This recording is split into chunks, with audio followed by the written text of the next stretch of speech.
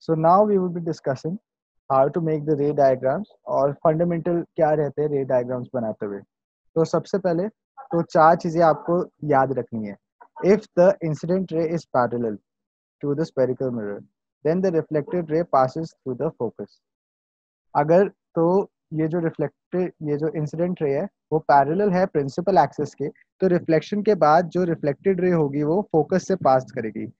ये फंडामेंटल कुछ चार चीज़ें मैं अभी आपको बता रहा हूँ। कॉनकेव मिरर के लिए भी एप्लीकेबल है कॉन्वेक्स मिरर के लिए भी एप्लीकेबल है। तो यहाँ पे जो हम देख रहे हैं पैरेलल आ रही है और फोकस से पास कर रही है। फ़र्स्ट सेकंड अगर तो इंसिडेंट रे फोकस से पास करेगी तो वो रिफ्लेक्ट होने के बाद प्रिंसिपल एक्सेस के पैरेलल हो जाएगी। तो ये देखिए, यहाँ पे फोकस से पास करिए रिफ्लेक्शन होने के बाद प्रिंसिपल एक्सेस के पैरेलल जा रही है। सेकंड था ये फंडामेंटल तो अगर सेंटर ऑफ़ कर्वेचर से इंसिडेंट रे आपकी पास करेगी तो रिफ्लेक्शन के बाद वो सीधा उसी तरीके से पास ऑन होगी। जैसे यहाँ से आपकी incident ray I centre of curvature से पास करते हुए। तो रिफ्लेक्शन होने के बाद भी वो रिफ्लेक्ट बैक या बाउंस बैक हो जाएगी सेंटर ऑफ़ कर्वेचर से ही। चाहे वो कॉनकेव मिरर हो या फिर कॉन्वेक्स मिरर हो। तो ये कुछ चार फंडामेंटल है जो आपको हर एक रे डायग्राम में हेल्प करेंगे बनाते हुए। तो अब हम स्टार्ट करते हैं रे डायग्राम दोबारा से एक बार रिफ्रेश करना। अच्छा एक और रह गया। जब पोल पे इंसिडेंट रे हिट करती है तो जब पोल पर आएगी, जैसे मान लीजिए इंसिडेंट रे पोल पर आई और रिफ्लेक्ट बैक हुई तो यहाँ पे लॉ ऑफ़ रिफ्लेक्शन एप्लीकेबल होता है। लॉ ऑफ़ रिफ्लेक्शन का मतलब angle I is equal to angle R angle I और एंगल आर आपस में इक्वल रहेंगे और उस, उससे वो बाउंस बैक करेगी। तो ये चार फंडामेंटल है जो हमें याद होना चाहिए रे डायग्राम्स बनाने के लिए। बेसिकली जहाँ पे भी दो रेज दो रिफ्लेक्टेड रेज आपकी मीट करेगी, वहाँ पे इमेज फॉर्म होगी। कॉनकेव मिरर के केस में इमेज फॉर्मेशन के छह बेसिक रे डायग्राम्स है। सबसे पहला आता है जब ऑब्जेक्ट को हम इंफिनिटी पे रखते हैं। तो ऑब्जेक्ट जब इंफिनिटी पे होगा तो इंसिडेंट रे सारी की सारी पैरेलल होंगी प्रिंसिपल एक्सिस के। देखिए यहाँ पे जो फ़र्स्ट आप देख रहे हैं, इसमें जो भी रेज आ रही हैं, वो सारी की सारी पैरेलल हैं प्रिंसिपल एक्सिस के। और पैरेलल क्यों है? क्योंकि वो इन्फिनिटी से आ रहे हैं। ये रूल यही रहेगा। अगर कोई भी रे इन्फिनिटी से आ रही है, इसका मतलब कि वो प्रिंसिपल एक्सेस के पैरेलल होगी ही होगी। अब फंडामेंटल में हमने क्या पढ़ा था? अगर प्रिंसिपल एक्सेस के वो पैरेलल है तो कहाँ से पास करेगी? फोकस से। रिफ्लेक्शन के बाद फोकस से वो पास कर रही है। सारी के सारी रेस तो इसका मतलब रिफ्लेक्टेड रे कहाँ पे मीट कर रही है? फोकस के ऊपर। सारी के सारी रेस कहाँ मीट कर रही है? इधर फोकस पे। तो अब देखिए पोजीशन ऑफ़ इमेज क्या होगी? फोकस के ऊपर। और ऑब्जेक्ट हमने कहा रखा है? इंफिनिटी के ऊपर। नेचर क्या होगा? नेचर होगा रियल रियल का मतलब जो स्क्रीन पे ऑप्टेन हो जाए। तो यहाँ पे अगर हम स्क्रीन रखेंगे, ऐसे अगर स्क्रीन रखेंगे यहाँ पे तो इस स्क्रीन के ऊपर वो ऑप्टेन हो जाएगा। तो ये हो गया रियल का मतलब। इन्वर्टेड मतलब उल्टी होगी। और साइज़ क्या होगा? हाईली डिमिनिश्ड हम यहाँ से भी देख सकते हैं कि पॉइंट साइज़ कुछ बन रहा है। तो इसलिए हाईली डिमिनिश्ड रहेगा। तो ये फ़र्स्ट केस है रे डायग्राम का। आप लोग इसको प्लीज़ प्रैक्टिस करिएगा। एग्ज़ाम में इसमें कोई भी कुछ नहीं लिख कर पाया था। ठीक है? ऑब्जेक्ट कहाँ पे है? इंफिनिटी पे। पोजीशन कहाँ बन रही है? फोकस के ऊपर। Nature real inverted size highly diminish first now second object beyond C अभी फ़र्स्ट केस में हमने उसको इन्फिनिटी पे रखा था. सेकंड में हमने क्या करा, उसको थोड़े सी के पास ले सी का मतलब कर्वेचर के पास सेंटर ऑफ़ कर्वेचर तो यहाँ देखिए, ये ए बी हमारा ऑब्जेक्ट है. तो बेसिकली जहाँ पे दो रेज हम कोई भी भेज सकते हैं। जो हमने चार फंडामेंटल रेज अभी पढ़ी है, उसमें से कोई भी आप दो रेज भेज सकते हैं। तो सबसे पहले हम रे भेजते हैं पैरल प्रिंसिपल एक्सेस के। तो प्रिंसिपल एक्सेस के पैरल जाएगी तो कहाँ से पास करेगी वो? फोकस से पास कर जाएगी। ठीक है? अब दूसरी रे इस डायग्राम में पोल पे भेजे है और फिर रिफ्लेक्ट बैक होके वो उसी सेम एंगल से पास ऑन हो रही है। तो अगर आप इसमें देखें, यहाँ पे ऐसे गया, ऐसे रिफ्लेक्ट बैक हुआ।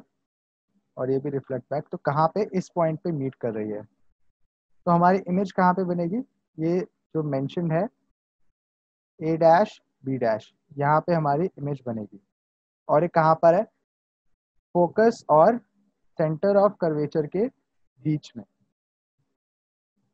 अगर हम ध्यान से देखें इमेज कहाँ पे आ रही है हमारी? फोकस और सेंटर ऑफ़ कर्वेचर के बीच में। तो ऑब्जेक्ट हमने कहा रखा? बियॉन्ड सी पोजीशन कहाँ पे बन रही है हमारी इमेज की? Between F and C nature का है? रियल इन्वर्टेड और साइज़ क्या है? स्मॉल हम फिगर में देख सकते हैं कि इमेज का जो साइज़ है, वो थोड़ा छोटा है और जो नेचर है, उसका रियल है और इन्वर्टेड है। ये सेकंड केस हुआ कॉनकेव मिरर का रे डायग्राम का। तो थर्ड केस हमारे पास आता है when the object is at C यानी कि रेडियस ऑफ़ कर्वेचर के ऊपर हमने जब ऑब्जेक्ट को रखा फ़र्स्ट स्टेप था इन्फिनिटी फिर थोड़ा और पास लाए तो कर्वेचर के पास ले आए, अब थोड़ा और पास हम ला रहे हैं पोल के और पास ला रहे हैं। यानी कि सेंटर ऑफ़ कर्वेचर के ऊपर अब हमने इमेज को रख दिया। ये देखिए, यहाँ पे ए बी जो है ऑब्जेक्ट है। एक रे हमने क्या करा? पैरेलल भेजी तो फोकस से पास करा वो वो रे दूसरी रे हमने क्या करा? फोकस से भेजी और फोकस से जाने के बाद वो पैरेलल हो गई प्रिंसिपल एक्सेस के। तो मीट कहाँ पे कर रही है? उसी सेम पॉइंट पे मीट कर रही है। उसी सेम पॉइंट पे मीट कर रही है, देखिए। यहाँ पे। मतलब सेंटर ऑफ़ कर्वेचर के ऊपर इमेज ऑब्जेक्ट था और सेंटर ऑफ़ कर्वेचर के ऊपर ही इमेज बन रही है। तो यहाँ देखिए object at C position of image at C nature क्या है? रियल इन्वर्टेड है। रियल का मतलब स्क्रीन पर ऑप्टेन कर सकते हैं। इन्वर्टेड का मतलब उल्टी है। और साइज़ क्या है? सेम साइज़ बन रहा है। तो अगर आप डायग्राम के सारे मेजरमेंट्स ठीक रखें मेजरमेंट्स का क्या मतलब है? कि जो पोल और फोकस के बीच में डिस्टेंस है, उतना ही आप डिस्टेंस रखें फोकस और कर्वेचर के बीच में। तब आपके जो डायग्राम्स है, एकदम परफेक्ट बनेंगे। इस डायग्राम में आप देख सकते हैं, अगर मैं इसको हटाऊं। तो जो दोनों का साइज़ है, वो दोनों का साइज़ एकदम सेम है। ठीक है? तो ये अब हमारा थर्ड केस हुआ। When the object is placed at centre of curvature now fourth अब हम क्या कर रहे हैं? ऑब्जेक्ट को थोड़ा और पास लेके चले गए। पोल के थोड़ा और पास हम ले गए। तो सेंटर ऑफ़ कर्वेचर और फोकस के बीच में रखा। एक रे हमने पैरेलल भेजी। रिफ्लेक्ट बैक होके वो फोकस से पास ऑन हुई। उसके बाद दूसरी रे हमने क्या करा? पोल से भेजी। आप सेंटर ऑफ़ कर्वेचर से भी भेज सकते हैं। और रिफ्लेक्ट बैक होके वो उसी सेम एंगल से बाउंस बैक हो गई। कहाँ पे मीट हो रही है? बियॉन्ड सी सी से भी पीछे मीट हो रही है। आप ये देख सकते हैं इमेज का साइज़ में क्या डिफरेंस है? ऑब्जेक्ट और इमेज के साइज़ में क्या डिफरेंस है? ऑब्जेक्ट का जो साइज़ है वो छोटा है और इमेज का जो साइज़ है वो बड़ा है। इस डायग्राम से हम ये देख सकते हैं। तो आगे देखते हैं इसमें। Object between C and F C और एफ़ के बीच में ऑब्जेक्ट को रखा गया है। पोजिशन ऑफ़ इमेज कहाँ आ रही है? बियॉन्ड सी सी से भी दूर आ रही है। नेचर ऑफ़ इमेज क्या है? रियल है इन्वर्टेड है size in object at focus अब थोड़ा और पास ले आए हम उसको। फोकस पे रखा है तो पैरेलल भेजा। फोकस से पास करेगी। ठीक है। उसके बाद पोल पे हिट करा और ये भी पैरेलल हो गई। तो हम देख रहे हैं कि इसको अगर हम कहीं भी एक्सटेंड करें, मान लीजिए ऐसे हमने पीछे भी करके इसको एक्सटेंड करा, दोनों रेस को, दोनों रिफ्लेक्टेड रेस को, हमेशा जो भी हम इसकी इमेज बनाएँगे, वो रिफ्लेक्टेड रे से ही बनाएँगे। तो कहीं भी ये मीट नहीं कर रही हैं। ना, इन जो रिफ्लेक्टेड रे हैं, वो कहीं भी मीट नहीं कर रहे हैं। तो हम इसमें अज्यूम कर लेते हैं कि जो पोजिशन इमेज की बनेगी, वो इन्फिनिटी पे बन रही है। ऐसा हम क्यों अज्यूम करते हैं? मैंने आपको उस टाइम बताया था कि जो ट्रेन के ट्रैक होते हैं, या ट्रेन की जो पटरियाँ होती हैं, उसको अगर हम एक पॉइंट से खड़े होकर देखें तो इन्फिनिटी पे जा पे जाकर हमें ऐसा लगता है कि वो बहुत दूर जाके मिल रही हैं। यानी कि अगर यहाँ पे मैं बनाऊँ तो ऐसे कुछ दिखती हैं वो। अगर आप ऑब्जर्वर हैं, और आप यहाँ पे खड़े हुए हैं, इस एंगल से अगर हम उसको देख रहे हैं तो हमें ऐसा लगता है कि जो रेल की ट्रैक से वो आगे जाके मीट कर रही है। लेकिन एक्चुअली में तो ऐसा होता नहीं है। तो इसलिए हम उसको बोल देते हैं कि इन्फिनिटी पे जाके वो मीट हो रही है। इसी तरीके से यहाँ पे भी मीट तो नहीं हो रही रेस लेकिन हम बोल देते हैं कि वो इन्फिनिटी पे उसकी ऑब्जेक्ट बन रहा है।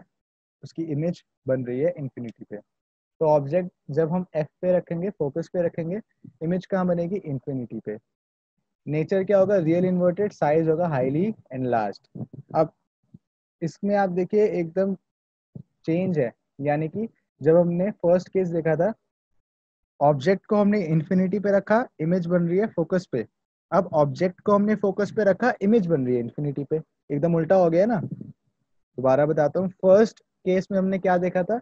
ऑब्जेक्ट हमने इन्फिनिटी पे रखा इमेज क्या बन रही है? फोकस के ऊपर। और अब हमने ऑब्जेक्ट को क्या रखा? फोकस पे इमेज बन रही है। इंफिनिटी पे।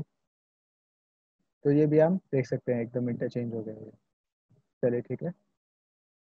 When the object is place between focus and pole and this is the most important ray diagram of six of them among six of them तो अभी ऑब्जेक्ट को हमने फोकस ऑफ़ फोल के बीच में रखा।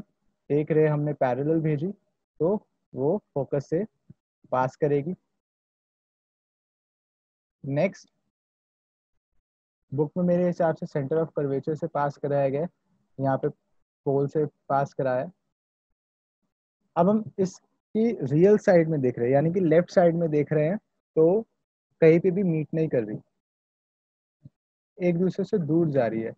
लेकिन जब हमने उसको पीछे एक्सटेंड करके देखा, ये देखिए, ये जो पीछे हमने ऐसे एक्सटेंड करके देखा तो ये एक पॉइंट पे यहाँ पे मीट हो रही है। तो इससे हमें ये पता चला कि अच्छा यहाँ पीछे इसकी इमेज बनेगी, ये। ए डैश और डी डैश ऑब्जेक्ट की पोजीशन कहाँ पर है? Between F and P image कहाँ पे बन रही है? बिहाइंड द मिरर मिरर के पीछे इसकी इमेज बन रही है। पोजीशन क्या है? Behind the mirror size in last figure से ऑब्ज़र्व कर सकते हैं। Nature virtual and erect object भी अपराइट है और इमेज भी हमारा अपराइट है। तो ये छह केसेस हैं जो हम कॉन्केव मिरर में डील करते हैं। अब आप लोग बताइए, जिसको कोई डाउट है इन छह केसेस में? तो मैं माइक अनम्यूट करके बोल सकता है। नहीं तो फिर हम आगे चलेंगे कॉन्वेक्स मिरर के केसेस पढ़ेंगे किसी को कोई डाउट है अभी तक कॉन्केव मिरर के छह केसेस में? ठीक है, अब हम आगे चलते हैं।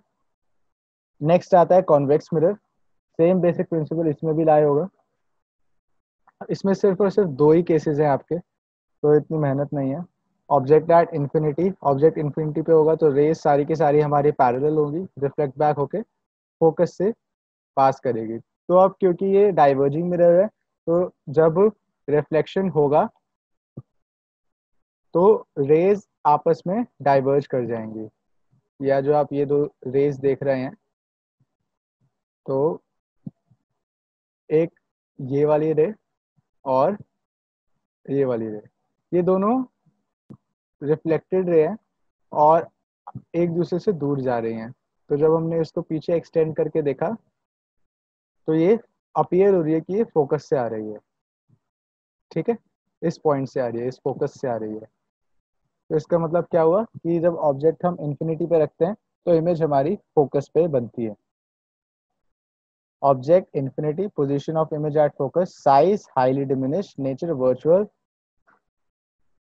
and erect second case आता है जब हम फोकस और सॉरी इंफिनिटी और पोल के बीच में कहीं पे भी इमेज को रख देंगे तो वो हमारा सेकेंड केस बनता है। देखिए, यहाँ पे ये भी ऑब्जेक्ट है। एक रे हमने ऐसे पैरेलल भेजी तो वो अपियर होगा कि फोकस से आ रही है। दूसरी हमने पोल पे भेजी तो उसी सेम एंगल से वो रिफ्लेक्ट बैक हो गई। और पीछे जैसे गई तो ए डैश बी डैश पे इमेज बनी। यानी कि फोकस और पोल के बीच में इमेज बनेगी उस ऑब्जेक्ट की। और देखिए between pole and focus size कितना है? बहुत स्मॉल है। नेचर वर्चुअल एंड इरेक्ट तो ये दो केसेस हमारे पास आते हैं।